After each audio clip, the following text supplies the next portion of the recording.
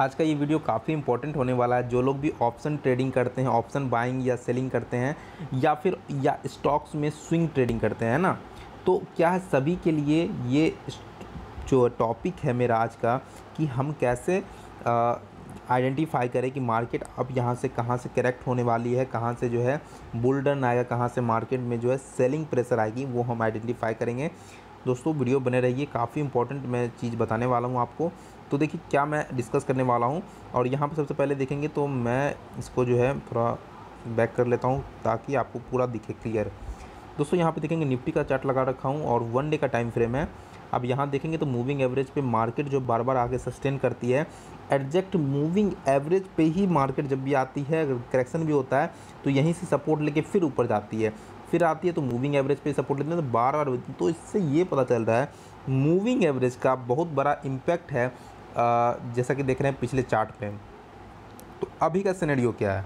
अभी फ़िलहाल करंट का सिनेरियो ये है कि मार्केट जो है, कहाँ पे हाई लगा कर आ चुका है, ये देखिए। मार्केट का हाई देखेंगे तो उन्नीस हज़ार नौ सौ इक्यानवे रुपये का हाई लगा चुका है तो ऑलमोस्ट बीस हज़ार को टच कर चुका है मार्केट। तो मार्केट बीस हज़ार को टच कर चुका है, दोस्तों रेजिस्टेंस लेवल है। बीस हज़ार का। और यहाँ पे देखेंगे तो कोई भी कैंडल जो है, इसके ऊपर सस्टेन नहीं कर रही है। लगातार एक रेड कैंडल के साथ मार्केट में क्लोजिंग देखने को मिल रही है। अब मार्केट बहुत ही अच्छे लेवल पे आगे सस्टेन कर चुका है। देखेंगे यहाँ पे तो जैसा कि बार बार पीछे के सेशन में देखेंगे तो मार्केट जो है, इसी जो है मूविंग एवरेज पे सपोर्ट लेता हुआ दिख रहा है। जैसे कि यहाँ देखेंगे, है ना, सब हर जगह जो है आपको सपोर्ट लेता हुआ दिख रहा है। तो अभी का कंडीशन में भी वही फॉर्मेशन हो रहा है। अब यहाँ पे इम्पोर्टेंट क्या चीज़ है जो कि मैं बताने वाला हूँ और आपको क्या चीज़ फॉलो करना है, वो चीज़ समझ लीजिए। सबसे पहले क्या करना है आपको दोस्तों, इस कैंडल के हाई को हाई को मार्क कर देना है है ना? वन सेकेंड इसको यहाँ कर देता हूँ।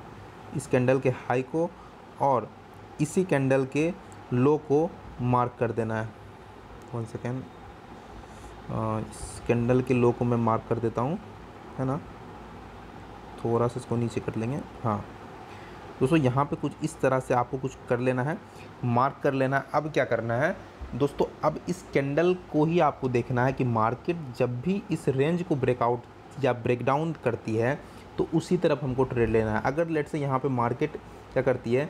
ग्रीन कैंडल बनाती है, सस्टेन करके इस कैंडल के हाई को ब्रेक करती है तो हम यहाँ पे क्या समझेंगे कि मार्केट में जो है, ओवरऑल जो अप ट्रेंड ही बना हुआ है कि मार्केट यहाँ से ऊपर गया फिर रिटेस्ट लिया फिर अब ऊपर जाएगा। इस तरह से कुछ पैटर्न बनेगा। तो जो लोग भी स्ट्रेटजी बना के जैसे बहुत लोग बाई करते हैं ऑप्शन को आ, है ना? आ, तो उस बेसिस पे आप अगर लेते हैं ट्रेड तो आपको बेनिफिट होगा। आप जो बॉटम पे खरीदेंगे है ना टॉप पे सेल करेंगे ये बेनिफिट आपको होगा।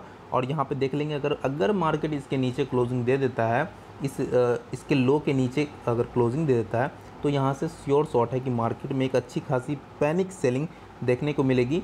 तो ये रहा आज का मेरा व्यू आज का मेरा टॉपिक जिससे जिसमें कि अभी काफ़ी सारे लोगों को हेल्प मिलेगा इस वीडियो से, क्योंकि बहुत सारे लोग को जो है आइडेंटिफाई नहीं करना आता है कि किस तरह से मार्केट को आइडेंटिफाई करे। तो लोग क्या है, कहीं पे भी बाइंग कर लेते, कहीं पे सेलिंग कर लेते पोजीशन कहीं पे बना लेते हैं। अभी मार्केट ऐसे जगह पे है ना, कुछ भी हो सकता है यहाँ से। अगर यहाँ से ऊपर ब्रेकआउट देगा तो वेल एंड गुड है। मार्केट में क्या हुआ एक पुल बैक आया रिटेस्ट लिया, फिर ऊपर जाएगा। इस तरह से कन्फर्मेशन बन सकता है। और, या दूसरा क्या हो सकता है, इसके नीचे जैसे क्लोजिंग देगा तो एक पैनिक सेलिंग आएगी, जो कि यहाँ तक आपको देखने को मिलेगी। तो उम्मीद करता हूँ आज का ये सेशन आपको अच्छा लगा हो पसंद आया तो दोस्तों दिल से लाइक कर दीजिएगा। और चैनल पर पहली बार विज़िट कर रहे हैं, ज़रूर सब्सक्राइब कर लीजिएगा। धन्यवाद दोस्तों।